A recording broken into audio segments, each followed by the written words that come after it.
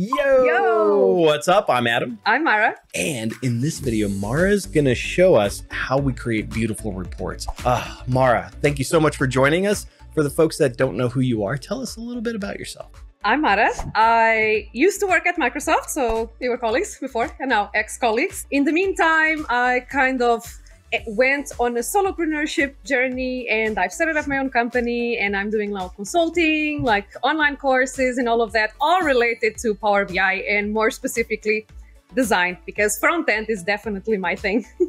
Amazing. And you've got your own YouTube channel, Data Pears. Definitely go check that out. Yeah. All right.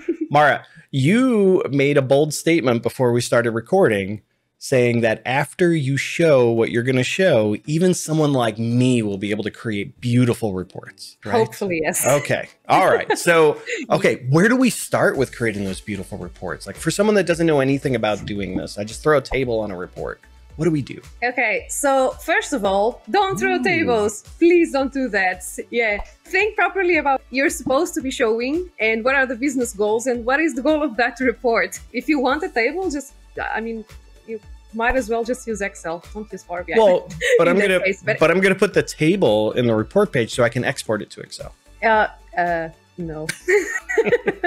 no, you should definitely not do that. Okay. Before you, uh, we actually start about talking about all the design stuff. Just yeah, be mindful of what are your goals with that report and what you should be showing, what kind of insights you should be showing in that report. And once you do that, then you can start thinking about the design, the, the charts that you're going to put in your report, and all of that. And that's what I want to share with you. All right, Mara. Enough all this talking. You know we like to do it here on Guy in a Cube. Let's do what? Let's head Okay. over to your machine. The first thing that I want to share with you is how do I get ideas for the designs that I create in Power BI? For example, this is Dribbble and it's amazing. It has like loads of different layouts that you can get inspiration from. This is like very easy to use. You can just search by dashboard and you can even add like green or blue or whatever. And then this will give you like a bunch of like ideas for your layouts and even like for color schemes and everything. The reason i like to go to these websites is because there are a bunch of things that you should consider like the white space or the space between the visuals. And once you get your ideas from here it's very very easy to replicate this either in powerpoint or figma which is the tool that i use. And you have freepik which is pretty much the same thing. And as you can see very nice layouts and color schemes and everything so you can totally replicate some of these elements or even the layouts in your own reports in power bi All right, Mara, that's that's amazing, and I love the fact that I don't have to think about those technicalities of the colors and the the spacing and all that. Like someone already did that hard work, and now I just have to try and replicate that. One of the other things that I want to uh, mention is those layouts, they have like their color scheme and everything. And of course, you probably will have your own color scheme that you have to use Right. from your own company. And it's, it's, pretty easy to adapt that usually those layouts to whatever color scheme that you need to. So in terms of the colors, if you want to get very creative, you can always use like a color palette generator and this will basically remove the barrier of you having to be creative on your own and you can just generate the color scheme and then just put all these hex codes on your report in Power BI. You can customize your theme. And also there is another one that I like. This one actually is my favorite. You can e- extract themes from an image. So for example, I'm going to get an image of a report. Imagine this one. It's an example that I took from Dribbble. And as you can see, it gets like all the colors for you. I mean, how easy is that? Oh, and you can just move the thing around and it will basically generate the color palette based on the image. So now you have your color scheme. So you have half of the work done in terms of design. Mara, that is amazing. I've used that site before, but yeah, I didn't know like that. That makes it so easy to get the colors that you want to go after if you've got that Yeah. theme. What else do you have for us? So we've, we've got some layouts, we've got colors. Then what? Like I said, you have to build the layout itself, right?